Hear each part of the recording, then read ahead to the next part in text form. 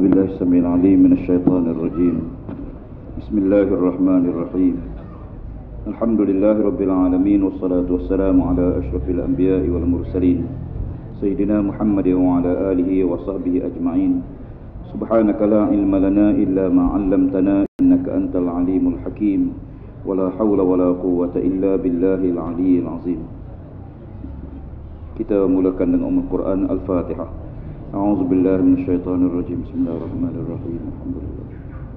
Ar-Rahmanir Rahim. Maliki yaumiddin. Iyyaka na'budu wa iyyaka nasta'in. Ihdinas siratal mustaqim. Siratal ladzina an'amta 'alaihim ghairil maghdubi 'alaihim waladdallin. Alhamdulillah kita panjatkan syukur pada Allah Taala. Malam ni kita berada pada tahun baru Hijrah ya. Mudah-mudahan tahun ini sebagaimana yang ditulis ya, oleh kebanyakan para pengkaji bahawa kita berada di tahun di abad ya, di tahun baru hijrah ini ialah dianggap sebagai tahun kebangkitan Islam di seluruh dunia insya-Allah. Ya, sebagaimana yang kita lihat dalam beberapa hadis Nabi sallallahu alaihi wasallam bahawa Islam ni dia ya, umpama roda. Ala innal Islamu dairah Ya, sesungguhnya Islam ni sentiasa berpusing, berputar. Faduru ma Islam hai sudar. Maka hendaklah kamu berputar bersama-sama dengan putaran roda Islam. Maksudnya Nabi SAW sebut Islam ni diimpam roda, dia pusing selalu, sentiasa pusing. Ada masa dia di atas, ada masa dia turun, turun, turun sampai bawah betul. Sampai orang hina Islam, orang tak berani mengaku Islam, tak berani pakaian Islam, ya. kemudian Islam tak akan naik balik. Dia naik naik naik semula. Dia akan sampai ke muncak balik. Lepas tu dia akan turun semula. Lalu kata Nabi paduru ma'al Islam hai sudar. Hendaklah kamu bersama-sama dengan putaran roda Islam. Di mana dia berada? Maksudnya Nabi tak nak kita ni bersama Islam waktu nak menang je. Ha. waktu susah waktu teruk senyap belaka. Nampak nak menang ha, baru. Macam orang buat buat syurah ya, buat buat syurah. Waktu kacau tu jauh belaka. Dekat nak masak pakai lumpur. Ha, jangan jadi macam tu. Islam ni jangan buat macam tu. Hmm? waktu kena bersama Islam. Waktu senang pun kena bersama Islam. Sebab ya kita tak tahu ya kerana kadang-kadang Tuhan beri pahala kita ni banyak waktu tengah susah tu ya sebab tu kata Nabi derma sebelum Islam menang tak sama dengan derma selepas Islam menang ya, orang derma sebelum menang dia tak ada niat apa-apa ikhlas. Derma lepas menang ni ha, projek ya. takut jadi macam tu lah ada benda lain. Dia bagi bagi bagi waktu menang ni takut-takut dia ada niat lain. Takut jadi tak ikhlas. Tapi waktu kalah derma ni tak ada apa. Ha, tak sama. Derma sebelum hijrah dengan derma selepas hijrah. Ya. hijrah ni berapa tahun? tujuh tahun. Tujuh tahun tu tempoh hijrah ya. lepas Nabi kata la hijrata ba'dal fathi tak ada lagi hijrah selepas berlaku pembukaan kota Mekah pembukaan kota Mekah pada tahun ke-7 tujuh tahun lepas Nabi hijrah ke Madinah barulah Mekah jatuh tangan Islam bila Mekah jatuh tangan Islam Nabi kata tak ada lagi hijrah ya. pasal apa? sebab hijrah ni syurga tu tuan siapa hijrah ke Madinah jamin syurga oleh Allah ya. Allah Taala sebut radhiyallahu anhum wa radu'an. Allah redha pada mereka dan mereka redha pada Allah. Ya. Siapa hijrah? Tiga perkara. Pertama dijamin syurga oleh Allah. Yang kedua dosanya semua diampun dosa oleh Allah Taala. Yang tiga dia tidak akan ditimpa bala oleh Allah. Ini kelebihan orang hijrah. Tapi ada yang tak hijrah. Ha. Hijrah Nabi ini tinggal, tinggal semua. Ya harta tinggal, kedai tinggal, harta semua, semua tinggal. Kita hijrah, keluar juga. Ada orang cenung, minta felda, dapat felda. Ya. Kawan saya di cenung duk cerita. Dia kata waktu pakcik tu masuk felda dulu, buat majlis, majlis perpisahan. Ya. Lepas main Jumaat, buat jamuan, nangis-nangis, salam, apa semua. Sedihlah sebab dia kena keluar daripada cenung, dia minta felda, dapat felda. Felda mana? Felda kapal Allah. Hmm. Cenuh dapat faedah kapal Allah. Menangis. Padahal boleh balik tiga kali sehari. Ya. Ha. Kita tinggal kampung kita. Masuk Felda. Harta kita di kampung ada. Sahabat Nabi ni bukan tinggal, dirampas harta. Okay. Suhaib Ar-Rumi, dia ni pakar kerja berat. Kerja kimpalan besi. Suhaib ni. Kemahiran dia ialah ya, kimpalan besi. Jenis-jenis kerja, kerja high com lah. Ya. Jenis teknologi tinggi. Ya. Dia mari ke Madinah, dia ke Mekah. Alhamdulillah, dia masuk Islam. Bila masuk Islam, dia buka bengkel. Dia buka bengkel, bengkel besi ni makin kaya, makin kaya, makin banyak harta dia. Waktu Nabi suruh hijrah, dia pun kemah-kemah barang boleh bawa besi, boleh mana boleh bawa. Bawa yang mana boleh bawa. Tiba-tiba Abu Lahab hantar samsing dia, Sarik Dul kampung dusun. Masuk ke dalam rumah dia, dia kata wahai Syuhaib, kamu datang ke Madinah ni, ke Mekah ni, selas pinggang. Kamu tak boleh tinggal Mekah melainkan selas pinggang juga. Pilih antara dua, nak harta ataupun nak selamat hijrah. Lalu kata Syuhaib, aku pilih hijrah. Ambil harta, ambil semua sekali. Tapi jangan ganggu aku nak hijrah. Hijrah tinggal harta tuan, berjuta harta tinggal. Allah Rabbi, hebatlah. Ya. Amram bin Auf. Ya. Kaya-raya, jutawan, bilioner di Mekah. Ya. Tinggal harta. Siapa Madinah? Nabi sallallahu alaihi wasallam mempersaudara Kak Amr bin Auf ni dengan orang kaya di Madinah. Ya. ya. Sa'ad ibn Rabi Rabi' Sa'ad bin Rabi' ni seorang kaya, sahabat Nabi yang kaya di, di Madinah. Antara yang paling kaya di Madinah lah. Bila dia dengar Nabi nak hijrah ke Madinah, dia bersiap rumah dia. Dibagi satu bilik khas untuk Nabi. Ya. Dia siapkan orang kaya. Ya. Tiba-tiba bila sampai Madinah masing-masing sambut Nabi, berebut nak minta Nabi tidur rumah dia. Tapi masing-masing orang miskin ni kata tak ada harapan lah. Kita mesti JKK dulu. Ya, tompak ke, ketua kampung ke. Mesti ahli-ahli yang berhormat, yang berhormat dulu. Rumah kita siapa nak pergi rumah miskin. Ya, jadi masing-masing duk sangka tentulah Nabi menginap rumah saat Rabi'. Tiba-tiba dia masuk sahabat-sahabat berebut Nabi kata gini lah. Biarkanlah tali biarlah unta ni bergerak sendiri. Nabi lepaskan tali unta ni. Nabi tak pegang tali unta. Lepaskan tali unta tu. Biarlah unta ni berjalan di mana dia berhenti aku akan menginap rumah dia. Sampai di rumah Sa'ad bin Rabi' dia pegang tadi unta dia suruh unta ni berhenti. Nabi kata biarkan lepaskan tadi unta tu. Unta ni berjalan di atas kehendak Allah unta ni bukan berjalan sendiri dia jalan atas arah Allah lalu tiba-tiba unta ni tak berhenti rumah Sa'ad bin Abi Rabi' jalan jalan jalan berhenti di rumah Abu Ayyub Al-Ansari orang miskin Abu Ayub ni anak ramai. Okay, eh, maka baik. Oh, dia anak ramai. Okay. Abu Ayub ni dia orang susah anak ramai. Okay. Nabi kata aku nak tidur rumah dia.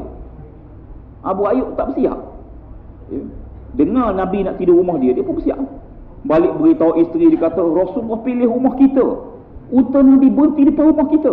Allah Ta'ala berhenti kau unta di rumah kita. Seronok, seronok tapi bimbang. Orang miskin. Eh, seronok-seronok. Saya ingat satu hari, duduk borak dengan isteri. Besok nak raya. Masa di Kuantan. Saya kata raja-raja ni, masa saya, saya ada kuliah di istana. Saya kata raja-raja ni raya gimana? Tak sedap jadi raja rasa. Tak, sedap jadi raja tu tak. Eh, rasa tak sedap nak minum kopi kedai tak boleh. Ya. Kita pergi jalan, rata boleh jalan kawan-kawan ramai. Raja ni mesti kawan-kawan dia. Saya kata raja ni raya mana? Duduk kejap bunyi telefon. Angkat telefon ustaz. Tuanku nak pergi raya umur ustaz esok. Ha, boleh. Letak telefon beritahu isteri. Oh gini rupanya. Siap. Allah rumah saya masa tu tuan-tuan tak ada benda. Balik beritahu isteri sudah raja nak pergi raya rumah kita. Cushion buruk ada. Saya kata buang. Buang semua cushion. Bentang tikar mengkuang. Biar dia duduk atas tikar. Sebab dia tak pernah duduk atas tikar. Jarang lah. Di atas kursi tiap-tiap hari. Betul. Makan, isteri kata, makan apa? Makan sebagaimana kita makan lah. Ya. Kalau makanan sedap-sedap, dia tiap-tiap hari makan sedap dah. Ha. Buat mihon, berudang kering je. Udang besar tak ya, udang besar dia biasa. Udang kering. Kadang-kadang mari. Ya. Tiba-tiba cerita berayut, sirah dia. Dia siap-siap atas, suruh Nabi duduk atas. Tiba-tiba Nabi nak duduk bawah. Dia kata, Ya Allah, ni atas lah. Tak, kata Nabi aku nak bawa. Atas payah orang mari nak jumpa. Ramai sahabat-sahabat mari jumpa nak tanya masalah nak jumpa Nabi ni. Payah Nabi duduk atas. Kata Nabi aku nak bawa lah. Ya Allah, saya dah siap di atas dah. Nabi kata apalah, tak apa, bawa. Oh, kalau Nabi mati nak di bawah dia pun. Ya, duduk atas lah. Abu Ayub kata dia tak boleh melangkah kaki duduk atas. Nak langkah kaki atas ni, Nabi di bawah. Tak sampai hati nak langkah. Turun semula, Ya Rasulullah, turunlah, naik atas Rasulullah, turun atas. Aku tak boleh melangkah Rasulullah. Nabi kata, relax, relax, relax. Kalau kita lah bahasa kita, tenang ayat Abu Ayub. Ya. Akhirnya Abu Ayub ni dipesan anak ni, jangan nakal sangat, jangan berlari. Nabi di bawah. Ya. Budak-budak. Yang berlari, berlari, langkah tempat air, pecah tempat air. ya. Tumpah air tersebut. Menyebabkan dia bimbang takut air itu menitik kepala Nabi. Abu Ayub ni ambil kain lah. Ya Rasulullah tolonglah ni atas. Supaya air pecah dah. Ya. Nabi akhir duduk rumah tu. Ya. Lalu Abu Ayub ni dapat tiga istimewa Rasulullah. Dia minta Nabi Allah turun doakan aku ni anak ramai. Minta Allah buahkan rezeki. Yang kedua minta Allah panjang kaum aku dalam taat. Yang tiga minta aku mati syahid. Nabi doa pada Allah, Abu Ayyub dapat tiga perkara. Ya, pertama, satu-satunya kebun kurma yang buah dua kali setahun. Kebun kurma Abu Ayyub Al-Ansari. Kurma ni buah setahun sekali ya. Mana ada kurma buah setahun dua kali? Kecuali kurma Abu Ayyub. Kurma dia buah setahun dua kali. Yang kedua, Allah panjang umur dia. Panjang sungguh. Dia mati zaman Sayyidina Umar. Pada waktu Nabi Hijrah tu dia dah tua dah. Ya. Nabi wafat dia dia sihat lagi Sayyidina Umar naik naik Sayyidina Wakar, naik Sayyidina Umar. Zaman Sayyidina Umar tu dia ratus tahun dah umur. Mata dia kelompok mata jatuh dah. Ya. Abu Ayyub ni bila tengok dia ambil dia ambil sendal dengan kayu. Dia sendal dengan kayu kelompok mata dia. Ya. Sendal dengan kayu. Untuk tengok. Buang kayu tu jatuh. Punya tuanya. Ya. Tapi hebat. Doa Nabi, ya Allah panjang kaum aku dalam taat. Yang tiga, dia doa untuk mati syahid. Satu hari Abu Ayyub dengar cucu dia Barak. Di zaman Sayyidina ada peperangan lawan lawan Kristian, lawan Nas, lawan Rom, ya, zaman Sayyidina Abu Ayyub dengar anak cucu tengah bersiap pedang, baju besi apa semua, kata kata dia, aku nak ikut dalam peperangan. Kata cucu dia tu, tak payah ikutlah. Ini zaman ni zaman kami dah ni. Ya. Ha, saluran satu ni jaga je. Hmm. Ni saluran tiga ni. Ha, biar muda-muda pergi. Abu Ayyub ni dia ambil kayu, dia sendas kelompok mata dia. Dia senang dia, dia renung cucu dia. Cucu dia tengok tok dia marah ni. Boleh, boleh pergi, boleh pergi, boleh pergi. Boleh. tak berani melawan, boleh pergi. Lalu Abu Ayub pergi perang. Bawa, bawa pedang tu. Tua-tua tu. Tua sangat dah, ratus tahun. Seratus lebih masa tu. Takdir Allah dia mati atas kapal. Mati dalam perjalanan pergi perang. Takdir Allah Ta'ala tak jumpa tanah daratan. Lepas dia mati mayat dia di kapal dia semayang. Cari tanah nak ke bumi. Cari darat. Tiga hari kemudian baru jumpa daratan. Bila sampai jumpa daratan, jenazah Abu Ayyub ni tidak repuk, tidak bau busuk, tak bau apa-apa. Macam bau-bau mati. Dia dikurniakan oleh Allah pahala mati syahid dalam perjalanan pergi pergi berperang. Nah, ni contohlah ya, Abu Ayyub Al-Ansari. Ya, orang yang hebat dalam Nabi dalam peristiwa hijrah yang tolong Islam. InsyaAllah mudah-mudahan semangat jihad, semangat usaha, semangat hijrah ni ada pada kita bersama. Eh, dan insyaAllah mudah-mudahan kita hidup zaman kita ni ada hijrah cara kita lah hijrah tinggal daripada keluar daripada keburukan kepada kebaikan kepada ketaatan yang baik kepada lebih baik lagi ya, ingat satu je ingat bila kita mati peluang tambah amalan habis peluang nak istighfar peluang nak minta ampun peluang nak beramal peluang nak bertambah habis. Mati je habis tutup file. Jadi sementara hidup ni kutik lah. Kutik sebanyak mungkin. Apa-apa yang jadi pahala ambil. Walaupun sekadar senyum dengan kawan. Senyumlah ya. Senyum ni mudah tu kan Tak payah bayar, tak payah apa. Ya, Senyum. Senyum tu dapat pahala.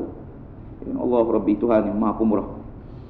InsyaAllah petang malam ni kita sambung uh, Muka surat 187 Yang saya ni jilid saya nak Pada masih lagi bicarakan fadilat Kita berselawat ke atas Nabi Sallallahu Alaihi Wasallam. Selawat atas Nabi ni banyak pahala dia. Ya, Besar ganjaran dia. Ya, hingga Allah Taala dan para malaikat berselawat kata Nabi. Ya, maka apatah lagi kita semua. Telah kita bincangkan minggu lepas bagaimana Jibril alaihissalam mari jumpa Nabi sallallahu alaihi wasallam. Lalu kata Jibril ya amma tarda ya Muhammad alla yusalli alla yusalli alayka ahadun min ummatika salatan wahidatan illa sallaitu alaihi ashara wa la yusallimu alayka ahadun min ummatika illa sallamtu alaihi ashara. Sukalah kamu ya Muhammad. Sekiranya di kalangan umat kamu berselawat ke atas kamu lalu dia diselawatkan seratus kali ke atasnya. Ya, melainkan aku mengucap selawat atasnya sepuluh kali dan tiada mengucap salam atasmu oleh seseorang daripada umatmu melainkan aku mengucap atasnya salam sepuluh kali. Kita selawat ke Nabi sekali Allah selawat kata kita sepuluh kali. Kita beri salam ke Nabi sekali. Salam ke Nabi. Orang Melayu ni kira salam orang lagi Mekah. Dia kata kamu pergi Madinah pergi kat kubur Nabi jangan lupa sampaikan salam saya pada Rasulullah. Boleh ke? boleh. Tak salah. Ya. tapi salam dengan Nabi ni tak perlu tak perlu pergi Mekah sini pun boleh. Ya. Tiap-tiap hari kita orang semayang akan ucap salam ke Nabi. Assalamualaikum ayyuhan nabi wa rahmatullahi wa barakatuh. Ya. Kita bila kita baca tahiyat, kita ucap salam. Assalamualaikum. Bomir alaika ni kita bercakap orang depan kita. Ya. Bukan assalamualaikum. Assalamualaikum ayyuhan nabi. Nabi sebut dalam hadis, siapa-siapa yang beri salam pada aku, Salam tu terus dibawa oleh malaikat sampai padaku. Dan aku terus jawab salam dia. Kita beri salam ni Nabi jawab. Cuma kita tak dengar. Ya, tak dengar lah. Kalau dengar. Hmm, duduk sorak. Assalamualaikum. Salam. Sudah. dia takut pula. Ya, tapi malaikat membawa salam kita kepada Nabi. Dan Nabi ucap salam. Kita beri salam ke Nabi sekali. Nabi SAW menjawab salam kita. Beri salam pada kita sepuluh kali. Allah Rabbi ya, Allahumma salli Muhammad dan setengah daripadanya sabda Nabi SAW man salla alayya salat salat salat alaihi malaika ma salla alai alayya falyaqul inda zalika aw liyukthir barang siapa mengucap selawat atasku maka mengucap atasnya selawat oleh malaikat selama ia mengucap selawat atasku itu ya. kata Nabi siapa-siapa yang ucap selawat atas aku malaikat akan ucap selawat atas dia. Sampai bila? Selagi dia mengucap selawat. Selagi itulah malaikat dia ucap selawat dan salam atas kita. Ya. Sebagaimana yang kita sebut dulu. Masjid-masjid kita ni, masjid surah dalam hadis Nabi sebut.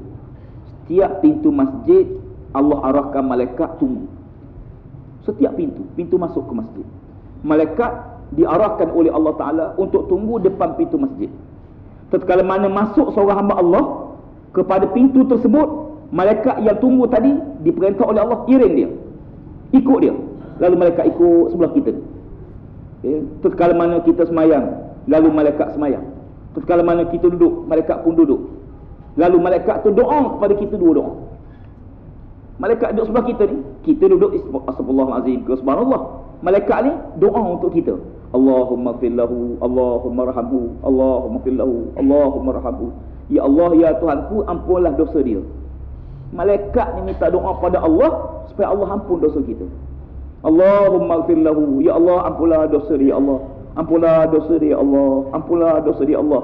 Allahumma arhamhu. Ya Allah, kesian belahlah ke dia. Kesianlah dia ya Allah. Dia ni hamba-Mu. Dia ni ada salah. Dia ada dosa, tapi dia jumpamu, dia mari menghadapmu, dia minta ampun padamu. Dia hidup atas rahmatmu. Walaupun dia berdosa, tapi walaupun kita berdosa, tapi kita bukan lawan Allah. Kadang-kadang kerana cuai lemah iman kita akhirnya kita melakukan maksiat. Ya berbagai-bagai. Tapi malaikat doa demikian. Kata kata nabi barang siapa mengucap selawat atasku maka mengucap atasnya selawat oleh malaikat selama ia mengucap selawat atasku. Maka disedikitkan daripada demikian itu atau dibanyakkan dia. Banyak ke sedikit bergantung kepada banyak mana kita selawat atas nabi. Banyak maka banyaklah. Sedikit selawat sedikit telah anda sebut dulu ya, antara yang anda pernah jumpa orang yang banyak selawat ni ayah Tok Guni Aziz. Tok Guni Mat Tok Guni Mat ni hidup dia nak selawat. Selawat dia nak bangun Allah masa senang Muhammad. Ya. nak duduk Allah masa senang Muhammad. Nak buat kerja nak mula Allah masa senang Muhammad. Nak masuk kereta Allah masa senang Muhammad. Nak keluar kereta Allah masa selawat sepanjang-panjang. Ya. jadi kami tanya dia ya. mana masa tu kecil-kecil Ya. Tanya. Dia kata orang orang banyak selawat dengan Nabi ni dapat syafaat Nabi di akhirat. Ya. Dapat syafaat Nabi. Dia ni antara makanan yang tak suka labu air. Sayur yang dia tak suka labu air. Satu hari dia baca hadis Nabi. Dia baca hadis, sayur kegemaran Nabi labu air. Dia kata Allah sudah. Nabi suka labu air, dia tak suka labu air. Bila dia jumpa Nabi suka labu air, tiap-tiap hari dia beli labu air. Tok saya ada empat isteri. Tok lah tapi tak menurut. Hmm. Ya. Anak masa kecil tu pergi rumah nenek ni. Tiap-tiap rumah ada labu air. Mesti ada sayur labu air. Ya. Tak ada labu air dah. Ini makan petang ada labu air lagi. Akhir tanya. Pasal apa labu air? Dia jawab apa dia? Dia kata kita kena suka apa yang Nabi kita suka. Barulah kita boleh bersama dengan Nabi kita di akhirat. Kita kena suka apa yang Nabi kita suka. Ya. Nabi suka apa? Tuan-tuan suka benda tu. Orang yang suka apa yang Nabi suka akan bersama dengan Nabi di akhirat.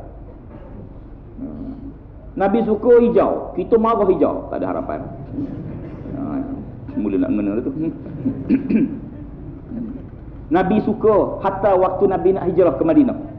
Nabi tidur. Ya, tempat tidur dia. Akhir Nabi SAW, bila dapat tahu, Nabi SAW Ali tidur. Guna selimut Nabi. Dalam setengah riwayat mengatakan, selimut Nabi warna hijau. Selimut Nabi warna hijau. Dia pakaian selimut yang baik. Warna putih atau warna hijau. Waktu kita tidur ni tubuh kita rilis. Dia free tubuh kita. Dia free. Waktu kita tidur ni dia free semua. Sampai Tuhan buat sistem tak salah kita bila kita tidur ni dia dia free. Masuk dia free. Free semua. Telinga, mata apa semua relax. Waktu itu apa yang ada dekat dengan kita dia ada ada kesan pada tubuh kita ya. manusia ada warna masing-masing ya. kita ada warna masing-masing warna yang disukai warna hijau dan warna putih pasal apa dia dia bentuk kekuatan spiritual kita jiwa kita. Kadang-kadang anak kita jenis tu kadang-kadang dia nasihat apa dia selimut dia. Selimut dengan dengan warna yang sesuai bagi tubuh dia. Ya. tak apalah tu cerita lain kali. Nak sebut pada kita bahawa demikianlah Nabi SAW dan lagi sahabat Nabi SAW awlan nasi bi aksaruhum ala salatin. Yang terlebih awla manusia denganku ialah orang yang membanyakkan mereka itu akan mengucap selawat atasku yang paling lebih awla manusia dengan Nabi SAW siapa dia? orang yang paling berselak, banyak selawat atas Nabi. Ya, yang paling mulia yang paling tinggi darjat di akhirat. Ya, orang banyak selawat atas Nabi SAW kita ni kurang selawat tak hmm, kurang. Hmm. kita selawat bukan tak selawat tapi kita sendiri pun rasa kurang. Ya. Nabi kata siapa-siapa yang selawat pada aku seratus kali sehari Allah Ta'ala kurnia pada tiga.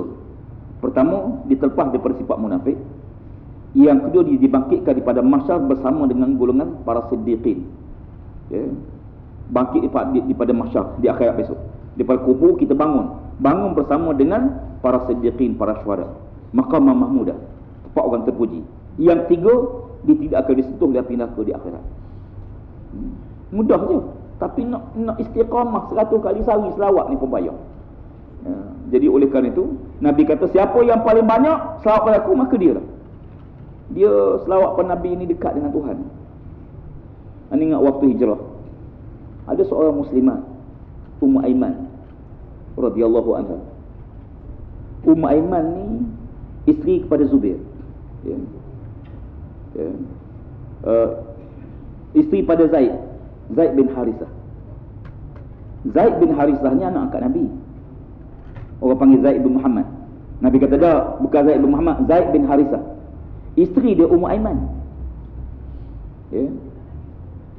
waktu hijrah ke Madinah Ummu Aiman dia hijrah dengan anak dia berdua ya.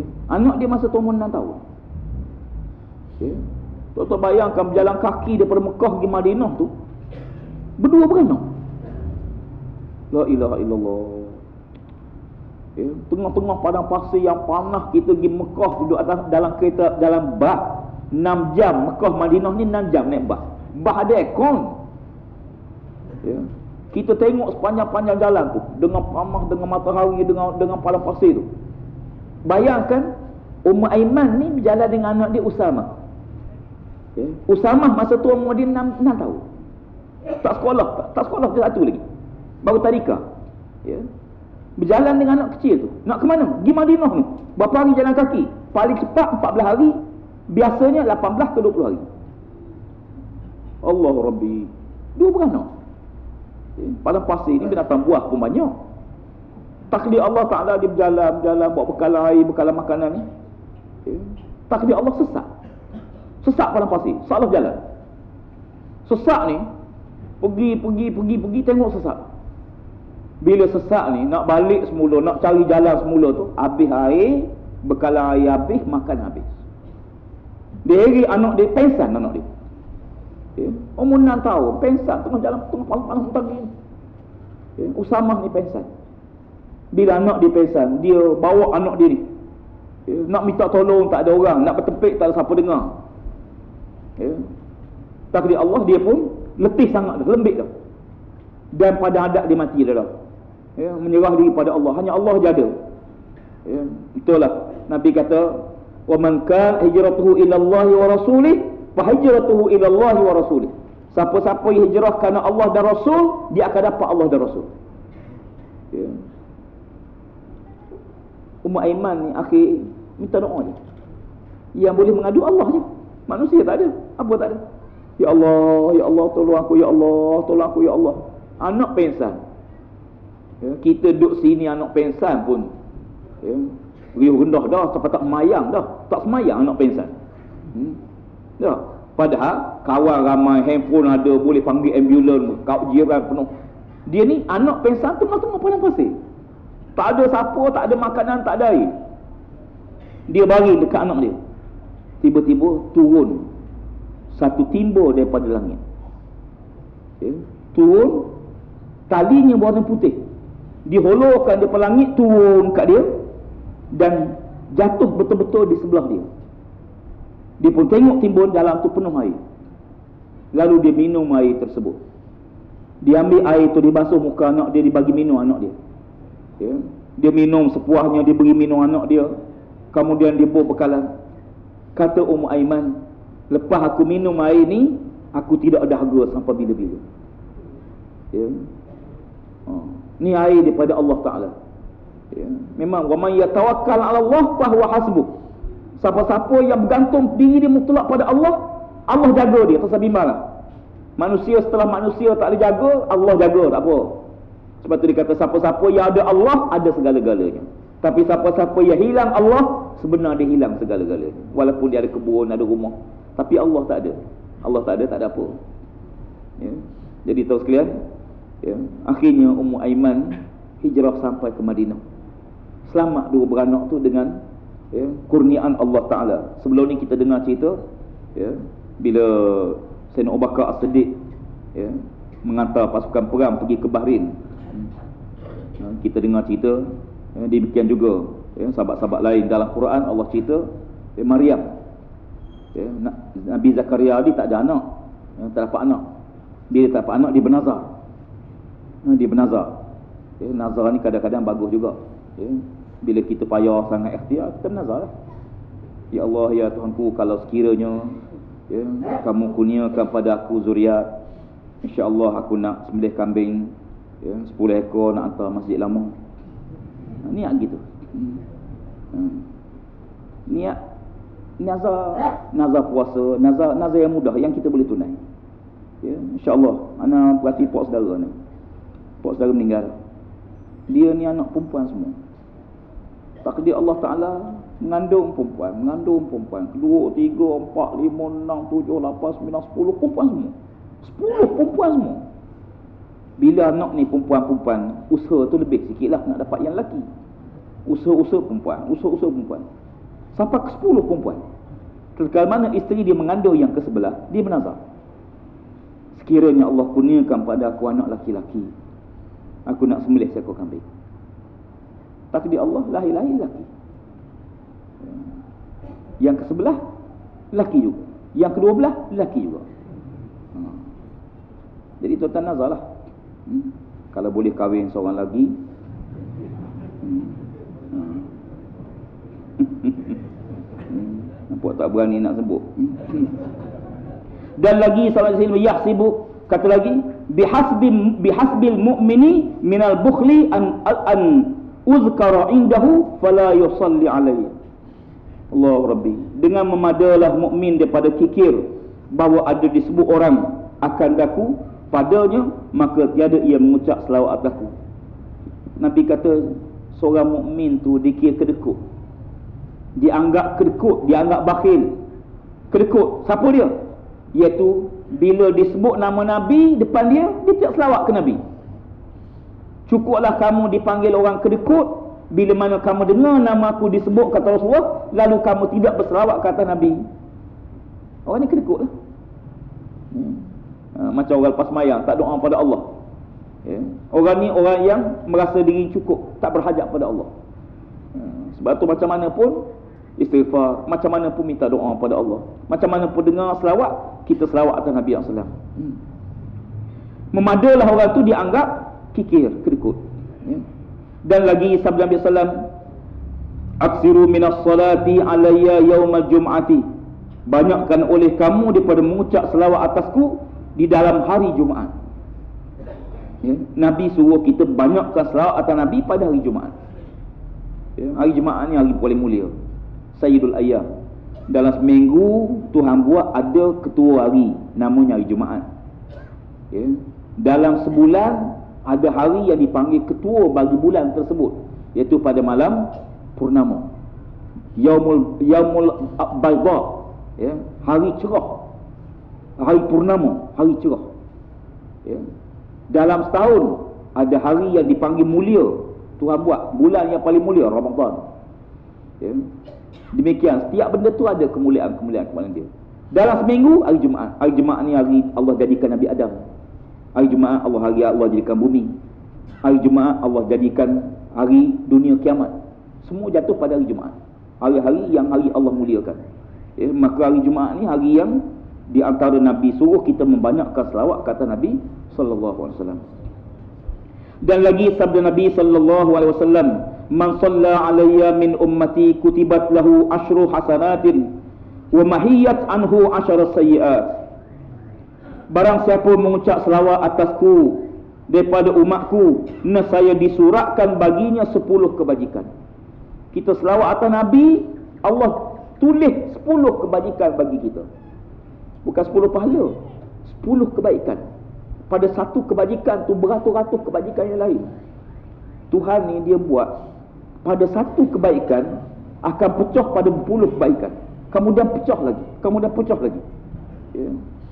Dia bukan mati situ tak. Pada satu kebaikan. Umpama kita sedekah. Sedekah ni boleh pahala tak boleh pahala? Boleh pahala. Kita sedekah dapat pahala tak? Kemudian duit kita sedekah tu jadi paku. Paku tu dekat tiap masjid. Dapat lagi pahala tiap paku tu. Ya. Berapa lama? Selagi mana paku tu ada situ. Bila dia bang, dapat pahala dah. Orang mari tak mari, dia azan dapat pahala. Kemudian orang mari semayang, dapat lagi pahala dia. Orang duduk rumah dengar bang tu dia semayang. Dapat lagi pahala dia. Imas silap. Tu imas silap. Bang subuh pukul 4. Jam dia mampu. Jam tu bila mampu. Mampu pukul 6 pagi. Waktu tang subuh. Tengok Allah. Mari-mari bang. Hmm. Tengah-tengah ada seorang makcik bangun. Bangun mengambil uduk semayang. Kejut suami bangun mengambil semayang. Suami pun bangun semayang juga. Suami kata aku uzur mu semayang dulu. Hmm. Hmm. Hmm. Semayang. Lepas semayang, dia pun tidur. Bangun-bangun pukul 8. Tak tahu pun. Lusa baru tahu. Tok Bila salah bang. Sah tak semayang dia? Sah. Sah tak ada apa. Ya. Allah Rabbi itu tengok Tuhan buat. Maknanya, hatta kita buka kedai. Buka kedai dapat pahala lah. Buka je. Orang mukmin ni buka kedai, tujuan apa dia? Tujuan cari rezeki halal. Tujuan nak mudah kau orang nak beli barang. Tujuan nak menghubung rahim. Dengan kedai itu macam-macam. Dengan sebab kita buka kedai, kita dapat rezeki. Dengan sebab buka kedai, orang lain mudah nak beli barang. Dengan sebab buka kedai, kita dapat rahim, dapat hubungan manusia. Dengan sebab kita buka kedai, kita merengahkan beban orang yang susah. Macam-macam. Buka kedai dapat pahala dah. Orang mari beli, pahala berganda, berganda, berganda. Ya. Nabi kata, barang siapa yang mengucap selawat ke atasku, daripada umatku disurat bagi sepuluh kebajikan. Dan dihapuskan daripadanya sepuluh kejahatan. Allah Rabbi. Ya. Selawat sekali, kita selawat atas Nabi, sepuluh kebajikan. Dan Allah hapuskan sepuluh kejahatan. Ya. Mudah-mudahan kita rajin. Ya. Dan lagi sabda Nabi sallallahu alaihi wasallam man salla alayya fi kitabin lam lam tana lam tazali lam tazalil malaikatu yastaghfiruna lahu ma dama asma'i fi zalikal kitab ya. kata Nabi alaihi wasallam barang siapa mengucap selawat atasku dalam kitab nescaya sentiasa malaikat mengucap istighfar mereka itu baginya selama-lamanya ada namaku dalam demikian kitab itu ada orang tulis selawat atas Nabi dalam kitab. Selawat macam mana? Tulis. Dia tulis Allahumma salli ala Sayyidina Muhammad wa ala ali Sayyidina Muhammad. Dia tulis. Bila ditulis, tulisan tu lekat situ. Kata Nabi, siapa-siapa selawat pada aku yang tertulis pada kitab. Lalu, malaikat mengucap istighfar kepada dia selama-lamanya selagi tulisan tu masih ada. Eh, berapa ratus tahun? berapa ribu tahun ya. Ha. kalau kita selawat sekali ya. kalau kita tulis tulis lagi lama ya. tambah pula kita tulis kita ada Jangan tengok orang Mekah, orang negara Arab dia rajin. Dia rajin, dia ambil zikir-zikir ni buat yang dalam komputer sikit, dia pun print. Sebab print dia gantar, tadi cetak. Dia cetak, pendek-pendek kecil-kecil. Ya. Macam-macam ni. Ya dia zikir-zikir dia pergi hantar kedai dia cetak mungkin habis duit dia RM20 RM20, RM30 bawa dia cetak kala lepas tu dia bagi. Dia ada. Orang ni pula ambil. Eh cantik ni. Eh, photostat bagi kawan. Cetak lain. Maknanya dia nak benda tu lekat dan orang boleh bawa. Eh. bahkan kadang-kadang hadis-hadis. Hadis 40 manawawi kitab-kitab mutabah dia tulis dalam bentuk buku dalam bentuk poket. Ya. orang mudah nipis dia dalam 20 muka tapi di sentiasa ada ya. kalau tuan pergi Mekah tu Allah Rabbi ya. kadang-kadang tiap-tiap waktu semayang tempoh orang ni ada orang ni letak dicetak letak letak kat masjid ya. orang lain ambil sebar ya. jadi dia nak supaya pahala tu lama kalau kata sebagaimana kata Nabi siapa selawat padaku dalam kitab maka malaikat akan istighfar kepada dia selama-lamanya selagi mana ada nama Allah nama nabi di atas kitab tersebut. Dan lagi sabda nabi sallallahu alaihi wasallam inna fil ardi malaikatan. Saya saya hina yuballighunani min ummati salam. Dalam bumi ni kata kata nabi ada malaikat-malaikat yang berjalan. Yang, ber, yang berjalan berkeliling. Padahal mereka itu menyampaikan kepada umatku akan salam akan daku kata Nabi malaikat Allah ni macam-macam. Ya. Malaikat ni kalau Jibril ketua bagi para malaikat. Tugas dia apa dia? Tugas dia menurunkan wahyu. Ada orang tak reti dia kata ustaz betul ke? Dia kata Jibril sekarang ni pencin tak ada kerja. Hmm. kata pasal apa? Sebab dia kata Jibril ni kerja waktu wahyu, wahyu dah habis lah, tak ada kerja. Eh. Lepas tu dia ada pencing ke tak? Otak manusia. Jibril ni bukan kerja waktu wahyu je. Menurunkan wahyu. Memelihara wahyu. Menjaga wahyu tersebut. Ya. Quran ni Jibril turun. Lepas tu dijaga sampai sekarang tak diganggu. Orang cuba nak ubah tak boleh ubah. Kemudian dia ketua bagi seluruh para malaikat Allah. Apakah Jibril paling besar? Tak. Ya, Jibril bukan besar. Ada lagi malaikat besar pada Jibril. Ya, sebagaimana yang telah kita sebut dulu. Ya, waktu Isra' dan Mi'raj, Jibril AS tunjuk rupa yang sebenar. Wajah sebenar Jibril AS. Kata Rasulullah, aku tengok Jibril, Masya Allah. Ya, dia ada 600 sayap. Lalu Jibril buka sebelah sayap dia. Besarnya sayap Jibril itu menutupi langit bumi. Sampai kata lagi, Ma'a'zamaka ya Jibril. Alangkah hebatnya kamu wahai Jibril. Lalu kata Jibril ya Muhammad, jangan kata begitu sebab kamu tak tengok malaikat lain. Apakah ada malaikat besar pada kamu? Kata Jibril ada. Iaitu malaikat Israfil. Yang meniup sangkakala. Aku ada 600 sayap. Israfil ada 1200 sayap. Satu sayap Israfil sama 600 sayap aku ni. Tuan-tuan, Israfil ni tiup sangkakala hancur dunia ni. Ya. Kalau kita bayangkan, kalau kita tiup. Tiup meja, tak gerak meja ni. Tak gerak pun. Kalau kita letak semua gatal, tiup, melambung semua tu. Berguling-guling, tujuh kali guling. Tobat aku tak pergi lah kat pakcik tu. Tiup saja kata. Hmm. Pasal apa? Sebab angin tu kuat, yang kena tiup tu kecil. Israfil ni 1200 sayap dia. Sekali diteruk hancur alam ni. Besar mana? Besar tu lah. Saya pun tak tengok lagi. Hmm. Hmm. Apakah Israfil besar? Tak, kata dia. Yang paling besar yang bawa bawa arah Allah. Dia ada 2,400 sayap. Satu sayap dia bersama 1,200 sayap Israfil. Dan ialah malaikat yang paling besar. Ada orang tanya, kenapa tak lantik dia sebagai ketua? Ketua tak semesti badan besar. Kadang-kadang kecil je. Ketua kelas. Saya ingat saya dulu ketua kelas. Yang lain besar-besar berlaku. Saya ketua kelas. Kecil masa tu. Masa tu lah. Sekarang pun tak besar mana. Tapi masa tu kecil dalam kelas Allah. Hmm. Nak marah yang besar. Bising. Dalam kelas bising. Cikgu marah kita sebab kita ketua kelas. Cikgu pula lantik yang kecil sekali ketua kelas. Tak patut semua. Hmm. Nak marah besar. Ya. Akhirnya dia pegang baju kita. Kita marah dia, dia pegang baju dia angkat. Tu kelas kena angkat gitu je. Kesian. Ya. Tapi besar tu pangkat. Tubuh kecil, pangkat besar. Isa sama. Eh, besar tu. Cik je. Tapi jangan main. Hmm. Pengurusi Felda. Ya. Dia nak dikena saman. Oleh ketua peneroka Felda. Diberi masa selama 14 hari. Tak minta maaf, dia akan disaman. Hari ini keluar pula berita.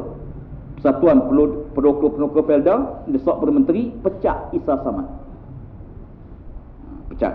Kalau tak pecat, pilih antara dua. Nak Isa Samad ke nak undi? Sudahlah dah. Hmm. Sudah. Dia pergi kata dua kepada Najib. Haji Najib. Hmm. Nak undi ke? Ke nak Isa? Sebab salah. Tuan-tuan nak siapa? Hmm, tak berani jawab. Aku rasa dah. Sebab kita tidak Isa, tidak apalah. Tak apalah. Baik. Jadi kata Nabi SAW, bahawa atas muka bumi ni ada malaikat yang kerja apa dia? Kerja raung. Jalan. Ni raung ni.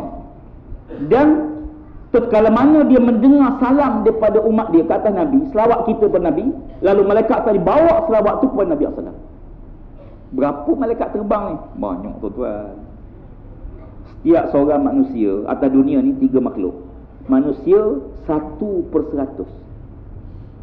Jin sembilan per seratus. Malaikat 90 per 100 Itulah banyak tak banyak? Masa saya belajar Ustaz yang dalam bab beriman dengan malaikat. Hantar Ustaz. Ustaz, banyak mana malaikat ni? Dia kata sebanyak pasir di muka bumi. Ha. Sebenarnya bukan jawapan nak beritahu banyak. Oh, Banyak. Sebanyak mana? Sebanyak pasir. Banyak mana pasir? Entah, dia pun tak tahu. Tapi banyaklah kita ambil segenap pasir ni pun tak tahu dah. Nak gambarkan malaikat ni banyaknya. Dan di antara malaikat tu macam-macam. Macam kita tengok malaikat maut. Kadang-kadang kita mari mikir macam mana malaikat maut cabut nyawa. Kejap sana mati, kejap sana, kejap sana, kejap sana. Kejap di Amerika. Tengah mati di Amerika, mati pula je ke sebelah. Tengah mati ke sebelah, mati pula je ke 21. Tak. Tengah mati, mati pula di Arab Saudi. Kadang-kadang mati serentak je. Saat sama. Macam mana dia buat kerja? Tak letih katnya.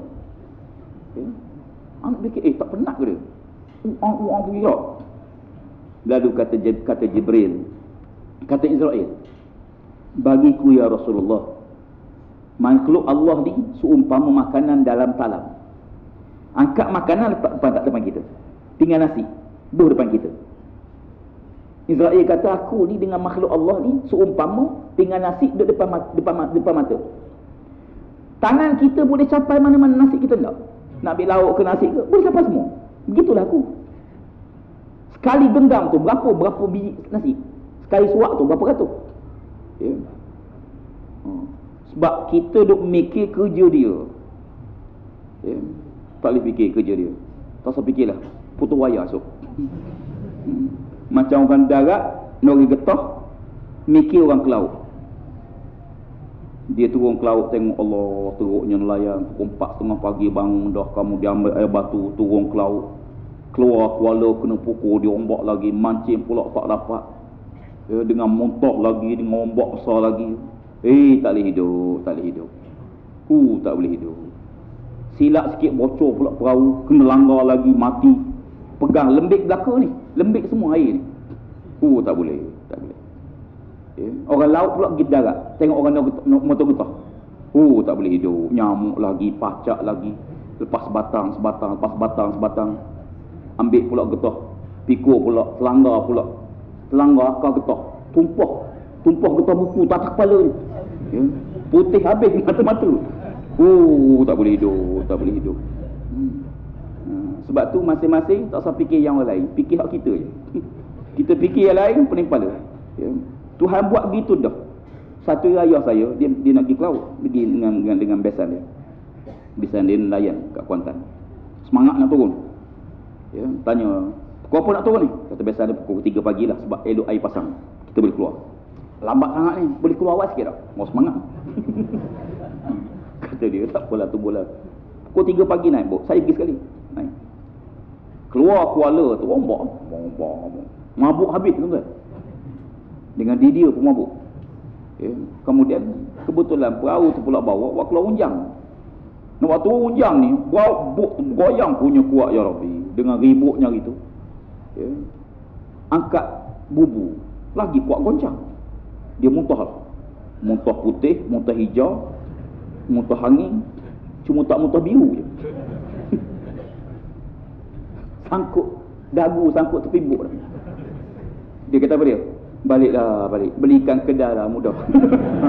Ha, baik kita belikan kedai. Ha, baru dia tahu. Hmm. Allah Rabbi. Betul tuan-tuan. Kalau dan kena susah. Ya. Anak masuk hutan pun. Masuk hutan hobi masuk hutan. Carikan keluar ya. sampai tengah jalan jam mata untuk tak boleh masuk kereta. Tinggal kereta jalan kaki. Jalan kaki 3 jam jalan kaki. Sampai kat tu pasang kemah jalan pula langsung tu sejam lebih 4 jam balik jalan lagi. 4 jam pergi 4 jam balik. Punya jauh sepada akhirat lah. Okay. dapat ikan kelas 3 ekor 4 ekor. Hmm? sebab tu tuan-tuan kalau orang jual ikan kelas tak setawa lah bayar je. Bayar je. Mau dia tinggal tinggal di ikan lah. Pergi tu ha. orang panjat panjat apa panjat ambil madu madu madu tualang. Madu tualang ni gada nyawa mai bergayuk Allah Rabbi baru ni meninggal seorang kat, kat dumun ya. ya seorang Allah manjat madu. Dia ni setiap kali sebelum naik dia ambil wuduk. Ambil ismaya minta doa pada Allah. Naik. Ya. pakai kupiah sentiasa pakai kupiah naik-naik takdir Allah daripada batang lagi ke dahan. Meniti dahan. Tu Allah Rabbi. Kaya Allah tergelincir. Tergelincir jatuh. Jatuh di bawah. Jatuh sampai ke bawah meninggal. Kopiah tak jatuh. Lekat di kepala lekat di kepala. Kita hidup kopiah cabut dah. Dia jatuh kopiah terlekat. Beritahu tok guru. Ha, tok gah jadi tok gah jadi datang semayang jenazah dia. Ya.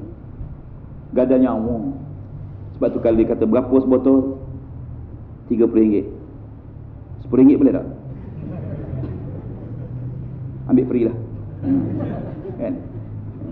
Kalau kita tahu dah dia gada nyawa tak padan RM30 tak padan. Hmm. yang betul lah. Yang menipu banyak juga. Hmm. Ha, yang menipu. Tapi yang betul ni Masya Allah tapi manusia cari cari rezeki ni gitulah. Yang taat perintah Allah cari rezeki ni sehingga Allah sehingga Nabi sebut. Allah Ta'ala menjengukkan wajahnya maksud dengan rahmat dia pada pertengahan malam ke dunia. Allah Ta'ala pandang dengan rahmat ke dunia pada pertengahan malam. Terus kalau mana dia tengok seorang hamba Allah yang tidur letih. Letih penat tidur kerana cari rezeki yang halal untuk anak isteri. Siang hari cari rezeki halal letih. Balik-balik tidur. Lembik macam kain buruk. Isteri pakai gencu, pakai bedak pun tak pergi apa dah. Tak. Hmm. Isteri tu sembuh, buka odorono je, reset pun sembuh dah. Hmm, tak peduli apa. Tidur tu tidur letih sungguh. Allah kata apa dia? Nabi kata, Allah Ta'ala mengampun dosa dia yang tidak boleh diampun dengan benda lain. Dosa kita ni macam jenis, macam-macam jenis dosa kita ni. Dosa ni macam macam kotor. Kotor ni macam-macam jenis. Ada kotor kena, kena, kena kotor biasa. Ada kotor kena darah. Ada kotor kena minyak. Ada kotor kena dakwat. Macam jenis kotor. Dosa pun sama. Dosa ni macam-macam jenis. Dosa tengok perempuan, dosa makan riba, dosa berzina, dosa, dosa, dosa, dosa. Dalam banyak dosa tu macam-macam jenis. Dosa dengki, dosa khianat. Nabi kata ada dosa yang tak boleh dihapus mereka dengan penat bekerja cari rezeki halal. Maka bila Allah tengok hamba aku ni letih cari rezeki yang halal atas dunia, lalu Allah ampun dosa dia yang tak boleh diampun dengan sebab lain. Istighfar pun tak boleh. Ya, semayang pun tak boleh. Macam kotor lah. Ada kotor yang kita basuh. Sabun tak hilang. Ya, beruh tak hilang. Bu minyak tak hilang. Bu klorok tak hilang. Tak hilang. Ada yang tak hilang langsung. Kena gunting buang. Tak hilang dah. Kena kerat buang tanpa kata kain lain. Apa dosa tu? Dosa syirik. Syirik ni tak sebab macam mana pun tak hilang. Tapi ada dosa yang kena buh, buh, buh sabun ataupun bau boleh hilang. Tengok tak bergantung begitu ke dosa-dosa kita. Ya. Jadi kalau kita baca hadis ni, Nabi kata setiap hari malaikat round bila jumpa hamba beri selawat kepada Nabi, lalu malaikat tadi menyampaikan selawat tu kepada Rasulullah dan Nabi sallallahu alaihi wasallam mengucapkan salam salam selawat atas dan lagi sabda Nabi sallallahu alaihi wasallam ma min ahadin yusallimu alayya illa rad illa raddallahu alayya ruhi hatta uradda alaihi salam. Tiada daripada seorang memberi salam atasku melainkan mengembalikan Allah taala atasku akan ruhku hingga aku kembalikan atasnya salam. Nabi kata siapa-siapa yang beri salam pada aku maka Allah Ta'ala mengembalikan ruhku. Nak beritahu Nabi ni dengar salam kita. Nabi tahu kita beri salam dan Nabi menjawab salam kita. Ya. Nabi sebut Allah mengembalikan ruh kepada Nabi SAW Nabi ni walaupun dia wafat ya, tapi wafat Nabi tak sama dengan wafat. Hatta tak sama dengan wafat mati syuhada. Orang mati syahid ni pun Allah kata wala taqulu liman yuqta fi sabilillah amwatun bal ahya. Jangan kamu kata orang mati syahid ni mati bahkan dia hidup. Itu baru manusia biasa orang mati syahid. Nabi nabi lagi lah ya. Ha, maka sebab tu setiap kali kita ucap salam setiap kali kita selawat sampai pada nabi dan nabi jawab salam kita hmm. Allah Rabbi Ana duk baca dia ingat satu hadis yang biasa Ana sebut Nabi kata aku bangga dengan umatku yang beriman denganku Aku bangga dengan umatku yang melihatku dan beriman denganku. Tetapi aku lebih bangga dan aku lebih bangga dan aku lebih bangga mereka yang tidak melihatku tapi beriman denganku. Dan sesungguhnya aku sangat ingin berjumpa dengan dia nanti di padang mahsyar. Ya. Mudah-mudahan termasuk kita. Ya, kita rindu nak jumpa Nabi, Nabi pun rindu nak jumpa kita. Kita selawat pada Nabi, Nabi ucap selawat atas kita. Kita beri salam pada Nabi, Nabi jawab salam kita. Tapi tak pernah jumpa. Ya, mereka kalau jumpa pun mimpi. Mimpi. Mimpi jumpa Rasulullah. Hmm. Ya. Nak jumpa Nabi, mimpi jumpa Nabi pun payah juga, bukan mudah. Ya. Ya. Satu hari saya mimpi jumpa Rasulullah SAW. Dalam hidup ni jumpa pernah sekali. Ya. Pernah sekali. Ya. Kebetulan masa tu, penat sangat balik tertidur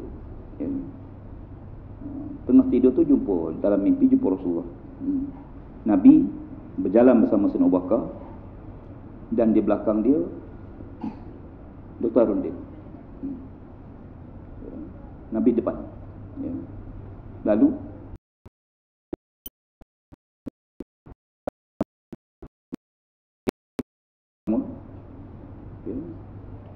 Nak bakar di belakang dia. Ya. Pada mula tak tahu siapa tu. Siapa yang tegur. Cuma dia pakai jubah putih. Di belakang dia seorang laki-laki Sayyidina Bakar ni pakai jubah putih juga. Dalam mimpi.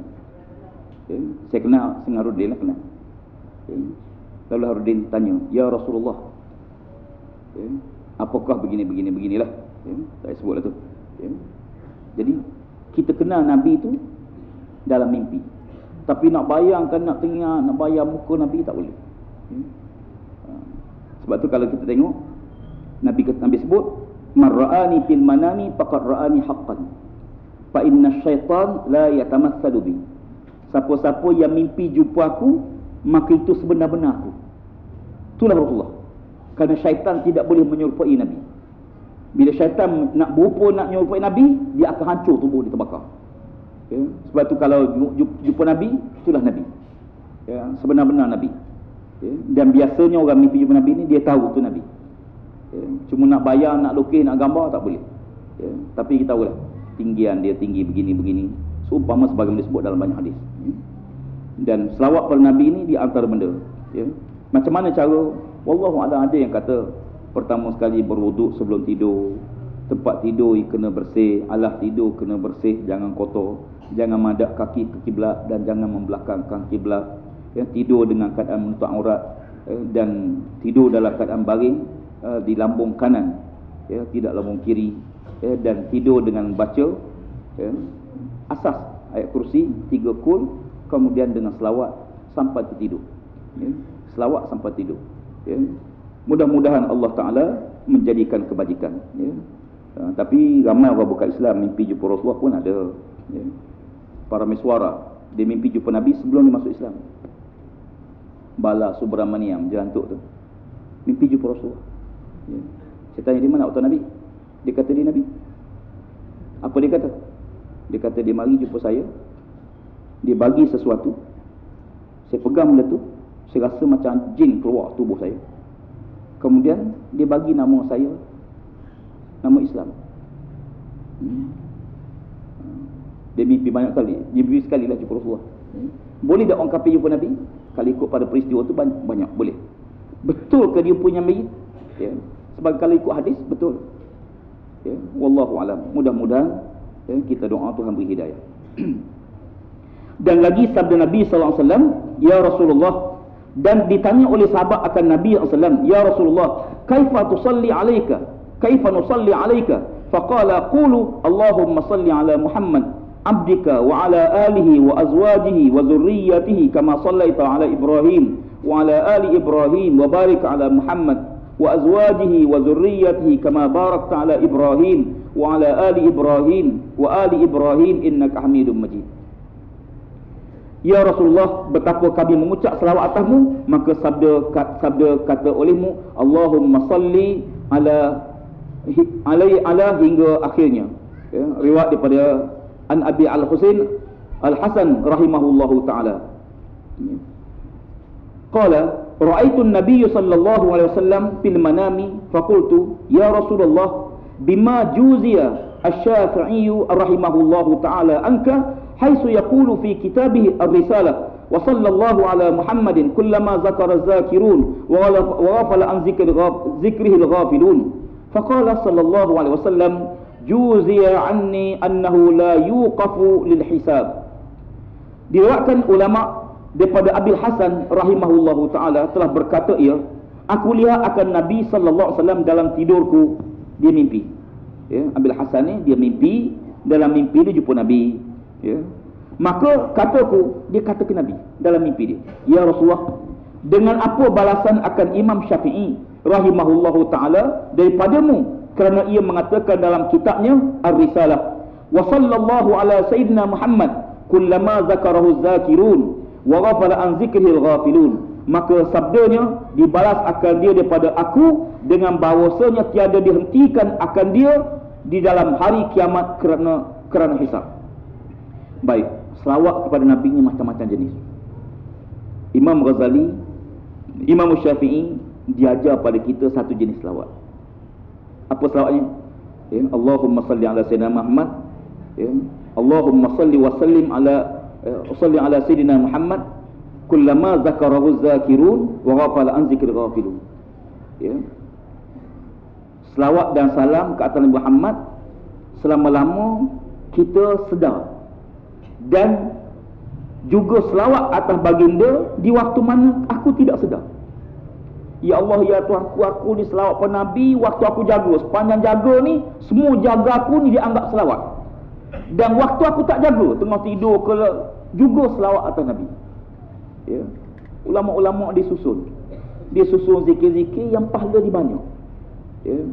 Kadang-kadang ya Allah selawat kepada Nabi sebanyak mana seduk nafas dan sebanyak mana hembus nafas.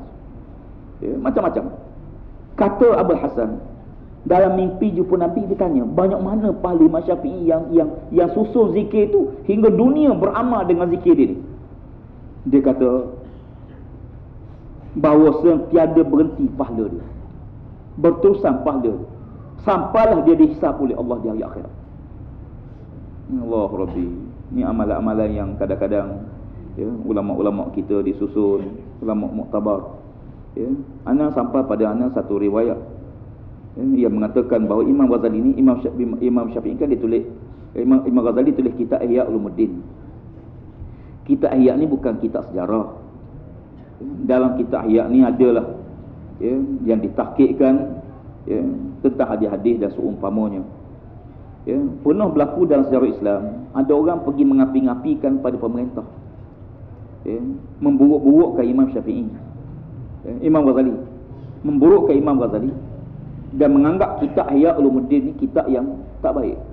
Ya. Lalu pemerintah terpengaruh dengan dakwah tersebut. Lalu dia telah mengarahkan kitab Ihya Ulumuddin dibakar. Bakar. Istihar. Siapa-siapa yang ada kitab Ihya Ulumuddin kumpulkan kita akan bakar selepas main Jumaat. Ya. Qadi besar ni dia mimpi. Dalam mimpi dia dia berjumpa dengan Sayyidina Ali jumpa dengan Maghazali Maghazali bawa kitab Ihya jumpa dengan Sayyidina Ali Ya Ali cuba tengok kitab iku ini kalau-kalau ada yang tak betul tunjuklah di mana tak betul dalam mimpi dia Sayyidina Ali tengok Sayyidina kata betul dia ambil kitab tu dia bawa pada Sayyidina Osman Osman teliti kata Sayyidina Osman betul bawa pada Sayyidina Umar Sayyidina Umar kata betul bawa pada pada Abu Bakar. Bakar kata betul. Bawa pada Nabi, Nabi kata betul. Maka Nabi panggil Qadir. Kemari kamu. Lalu Nabi ambil rotan. Dia cerita ni. Qadir cerita. Lalu aku dirotan oleh Nabi SAW. Ya, kerana keputusan keputusan nak bakar kita ayat. Nabi rotan di belakangku tiga kali. Satu, dua, tiga. Nabi nak rotan keempat. Imam Ghazali tahan. Ya Rasulullah, maafkan dia mungkin dia tersilap keesokan hari dia bangun dia kata aku masih lagi terasa sakit di watan oleh Nabi dan tidur dan besok tu dia istihar membatalkan pembakaran kita ahya ulumuddin kalau tidak tak sampai kita hari ni kita ni ialah tukar-tukar ngampu ni payah juga tuan-tuan. Ya, yang jenis-jenis duk fitnah kita tu duk fitnah benda-benda ni macam-macam atas dunia. Ya, kadang-kadang yang kita rosak ni bukan apa. Kita nak naik-naik lah tapi jangan memburuk orang lain. Ya. kita nak projek ambil lah tapi jangan menghina orang lain. Jangan kita naik tu dengan kita buat fitnah orang tu fitnah orang ni buruk orang tu buat jangan gitu ya. naik cara betul cara yang adil cara yang baik ya. kalau kita naik dengan fitnah orang lain satu hari akan fitnah kita balik tuan-tuan tengok Mesir Mesir ni dulu raja King Farouk Raja Farouk, raja terakhir Mesir zaman dia dia bertindak zalim ke atas ulama-ulama. Lalu King Farouk takhta dia dirampas. Dia ambil alih oleh Jamal Abdul Nasir. Jamal Abdul Nasir ni ketua tentera. Rampas. Tumbangkan kerajaan Mesir, hapuskan sistem beraja, dia istiar jadi presiden. Ya. Dia rampas kuasa. Ya. Jamal Nasir. Lepas dia, lalu dia dirampas kuasa pula oleh jenderal dia pula. Anwar Sadat. Anwar Sadat mati. Naik Sini Barak. Sini Barak pun dirampas pula. Ya. Sebab tu dia tilkal ayyam yudawidu habin nas.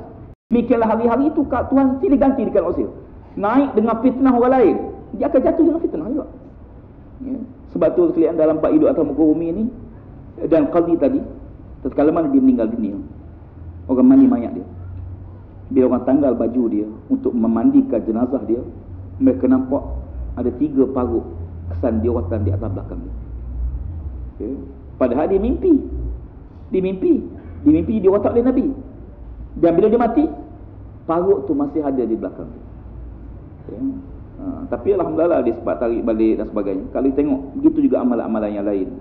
Okay. Mudah-mudahan penyusunan ulama-ulama yang muktabar dengan perkara ini mendapat manfaat pada kita bersama. Wallahualam. Terus sekalian ada beberapa perkara ni. Ini apa ni? Uh, saya nak tanya tuan soalan. Bolehkah daging korban campur dengan akikah?